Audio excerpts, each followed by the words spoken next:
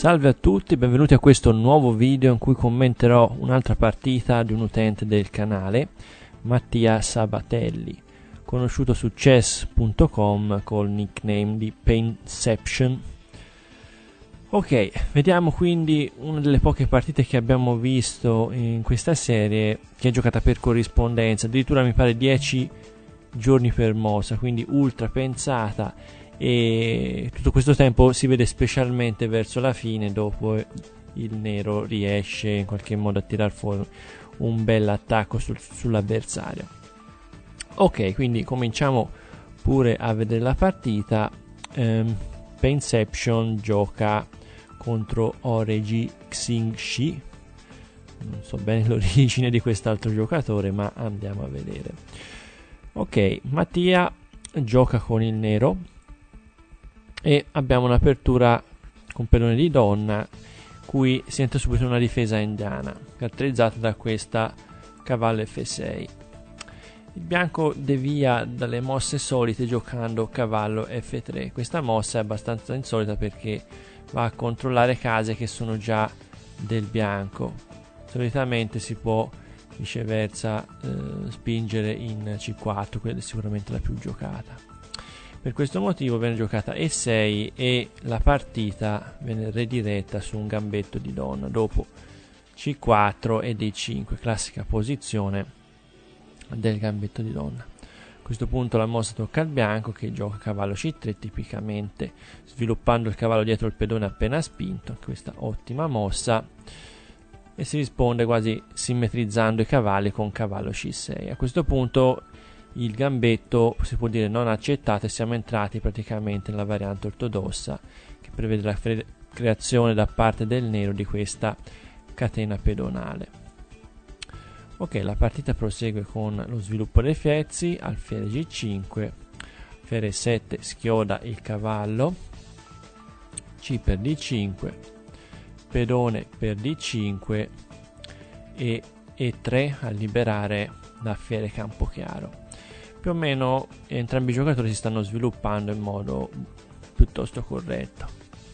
Quindi la rocca e mette al sicuro il proprio re e il bianco sviluppa l'alfiere in D3, cominciando un po' a infastidire la difesa del re nero. Qui Mattia continua con cavallo B4, probabilmente questa è la prima mossa leggermente dubbia della partita, perché venne rimosso per la seconda volta questo cavallo, attacca sì l'alfiere però l'alfiere è difeso quindi al limite il bianco pur di guadagnare un paio di mosse potrebbe anche lasciarlo dove sta oppure eventualmente riposizionarlo nel 2 essendo questo l'alfiere buono e continuare l'attacco. Poi il cavallo dalla posizione B4 sarebbe successivamente forzato in modo facile a rimuovere ad esempio spingendo in A3 oppure attaccandolo per esempio con la donna Ok, viceversa il bianco gioca alfiere B1, anche questa mossa non proprio chiarissima perché si ostacola poi lo sviluppo della torre che è nell'angolo. C5, il nero comincia a far fuoco sui pedoni, sul forze centro composto dai pedoni del bianco. E qui a 3 il cavallo del nero viene ricacciato indietro. E però prima Mattia di ritirare il cavallo gioca uh, C per D4 quindi cerca di far fuori subito il centro del bianco. Perché è possibile questa mossa? perché contemporaneamente nero sta minacciando anche il cavallo del bianco. Quindi se il bianco cattura il proprio cavallo il nero lo ricattura a sua volta. Il problema però di questa mossa è che il nero si sta creando un pedone isolato al centro. E di Dopo che il bianco ricattura di donna, mantiene la propria struttura pedonale divisa in sole due isole, mentre il nero avrà questo pedone piuttosto debole al centro. Non è detto che sia per forza una debolezza, però con questo cavallo che probabilmente potrà venire cambiato molto presto, non è detto che il pedone riesca a sopravvivere a lungo. Ok, comunque ora viene salvato ovviamente il cavallo che va in C6, guadagna un tempo sulla donna bianca che viene rediretta in D3. E ora vedete c'è forte pressione sul punto H7, quindi qui il bianco sta minacciando di cambiare il cavallo per poi eh, possibilmente dare scacco matto in H7. Bene, quindi giocata G6 per interrompere questo attacco e ora vediamo un po' cosa succede. Sembra che se il bianco cambia il cavallo poi possa far fuori il pedone D5 che al momento il nero ha soltanto due difensori contro i due attaccanti del bianco. Vediamo però che non è così facile, ad esempio qui se alfiere per F6 segue alfiere per F6, ora effettivamente il pedone può essere preso. Se viene preso di donna molto male perché la donna è sotto attacco e difesa solo dal cavallo, qui il nero può rimuovere facilmente il difensore dando scacco al re e mentre il bianco è occupato a salvarsi il re non potrà difendere la propria donna che viene catturata alla mossa successiva. Alternativamente anche catturare con il cavallo non è proprio ottimale. Ora sì, il cavallo può, potrà catturare l'alfiere con scacco se gli viene lasciato il permesso, ma qui il nero si rifà prima sul pedone B2 andando anche a infastidire la torre che si sposta in A2 dopodiché il nero può anche passare all'attacco ora questa diagonale è piuttosto debole perché il cavallo non può rientrare in difesa in modo sicuro. Sicché dopo ad esempio donna D2 c'è il cambio di donne il re rimane in questa posizione semi esposta magari prono a vedere il proprio cavallo inchiodato. Tuttavia ora il nero ha ancora l'alfiere sotto quindi prima lo deve rimuovere. E, e diciamo in questo modo il nero ottiene probabilmente una posizione d'attacco alternativamente sempre dopo g6 il bianco poteva anche pensare di catturare subito con il cavallo invece di far fuori prima il cavallo avversario. Ad esempio cavallo per d5 il problema qui però è che il nero può sfruttare l'ottima funzionalità del proprio cavallo, che può contemporaneamente catturare il pezzo che lo stava offendendo e allo stesso tempo difendere l'alfiere retrostante. Questa mossa inoltre apre un attacco di scoperta sull'alfiere camposcuro del nero. Quindi la più probabile alfiere per E7, cavallo per E7, il nero ha praticamente guadagnato un pezzo in questa manovra. Il bianco si avvede di tutto questo, non cattura il pedone ancora, ma prima gioca a rocco corto, eventualmente preparandosi a raddoppiare gli sforzi sulla colonna D per far fuori il forte pedone del nero. E a questo punto Mattia sviluppa l'ultimo pezzo leggero con alfiere G4. L'intento può essere anche quello di cambiare il cavallo, costringendo il bianco ad una posizione eh, brutta dei pedoni su, sulla di re. Però qui il bianco può tirar fuori il cavallo da guai con cavallo di 4 attivando il cavallo e ponendolo in questo forte avamposto centrale dove non potrà essere attaccato da nessun pedone perché non ci sono pedoni presenti né sulla colonna E né sulla colonna C. Ok d'altra parte però ora il bianco ha perso il controllo della casa E5 dove Mattia può inserire il proprio cavallo a sua volta portandolo verso l'attacco e guadagnando un tempo sulla donna. Quindi si muove in B5 molto pericolosa questa mossa perché nuovamente riattiva l'attacco sul punto D5 ma inoltre minaccia anche il pedone E7 ed ecco qual è la tattica ora di Mattia.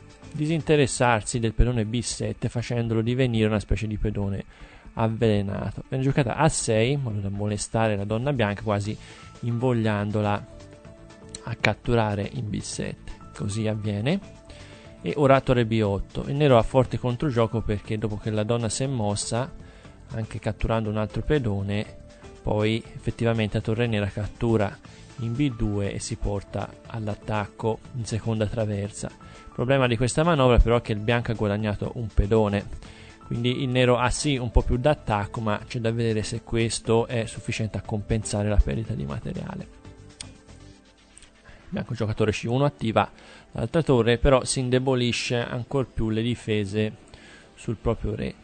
E qui viene giocata torre G7 anche se forse il nero aveva già l'opportunità di eh, porre un piccolo tranello al proprio avversario. Difatti in alternativa poteva essere anche giocata torre per F2 vediamo che questa torre se venisse catturata farebbe seguire alfiere C8 quindi l'alfiere si ritira guadagna un tempo sulla donna e soprattutto lascia la casa G4 vacante per il proprio cavallo che eventualmente darebbe scacco con attacco di scoperta sull'alfiere camposcuro dopo che il bianco ha salvato la propria donna ad esempio cavallo F G4 scacco il bianco si muove e il riprende un pezzo questa variante nero ha perso una torre per un pezzo leggero e un pedone, ma ha ottenuto un forte attacco con questi tre pezzi che stanno attaccando il re avversario. Tra l'altro c'è pericolo anche per la donna bianca che potrebbe essere attaccata di scoperta da questa batteria donna più torre. In ogni modo non era proprio sicura questa manovra. Mattia ha preferito giocare re G7 difendendo maggiormente il proprio cavallo anche con il re, quindi liberandosi eventualmente questi due pezzi dalla difesa. Nero gioca a 4, comincia a spingere il pedone passato che piano piano potrebbe diventare molto minaccioso man mano che cammina verso la promozione. E qui comunque alfiere C8. L'idea è sempre la solita, quest'alfiere in G4 non aveva al momento grande eh, attività perché un po' tutte queste case a parte essere controllate dal cavallo ma non avrebbero destato mm, alcun problema per il re avversario. Così facendo invece minaccia la donna e libera questa casa nuovamente per porci un cavallo che potrebbe essere molto più attivo nell'attacco ad esempio della casa F2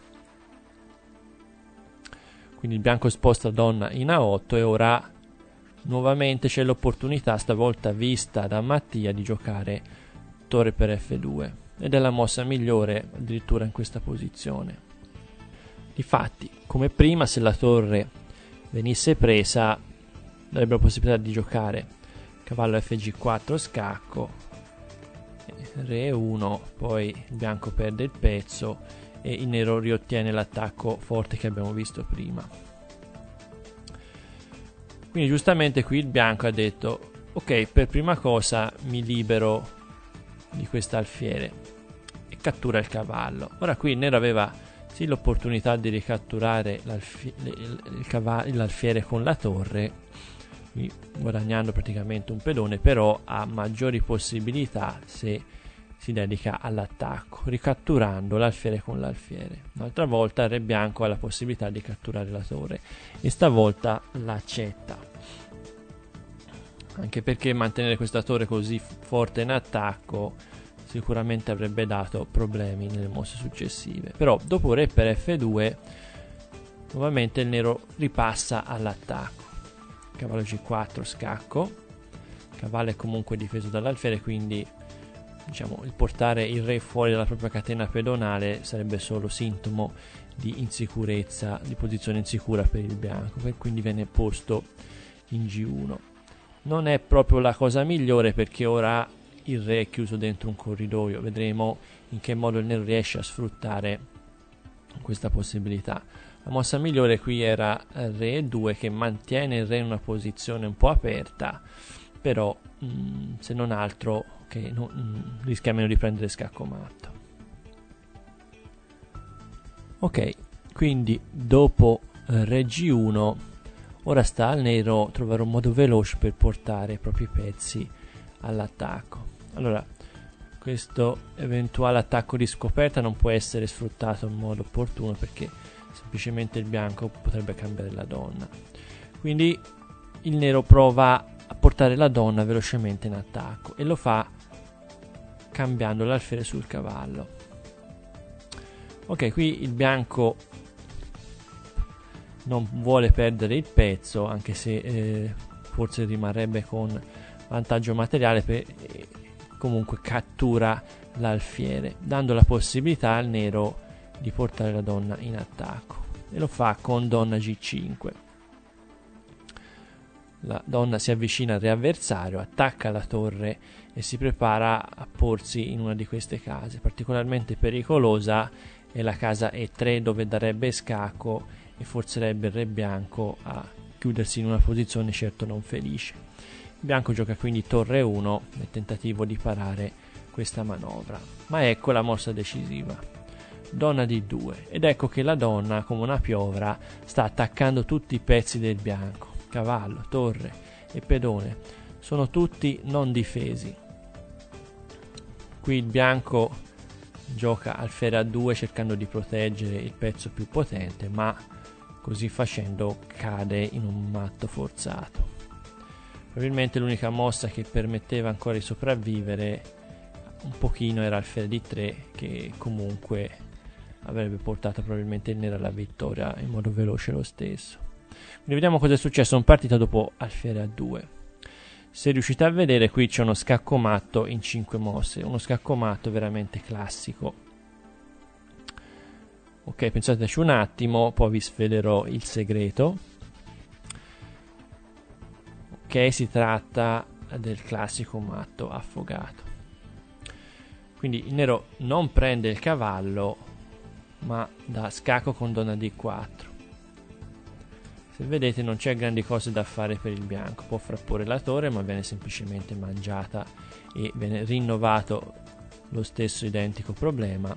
Se sposta il re in f1 segue matto con donna f2 quindi il re si deve per forza spostare in h1 a cui segue cavallo f2 scacco qui mossa unica re g2 e ora attenzione perché il nero gioca cavallo H3, scacco doppio.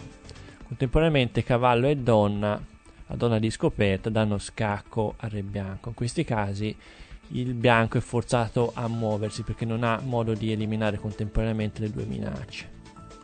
Quindi nuovamente non può andare in F1 per via del matto, deve andare per forza in H1 e con quest'ultima mossa in particolare il cavallo va a controllare la casa G1 e qui finisce facilmente la combinazione con questo bellissimo sacrificio. Donna G1 scacco. Il re non può prendere proprio perché c'è il cavallo che difende la donna. Unica per salvarsi. Torre per G1 e segue questo bellissimo matto con cavallo F2 il re impossibilitato a muoversi dai propri pezzi prende matto dal pezzo saltante il cavallo. Ok, bella, veramente bella partita, complimenti a Mattia e con tutti gli altri ci vediamo al prossimo video. A presto e in bocca al lupo. Ciao ciao.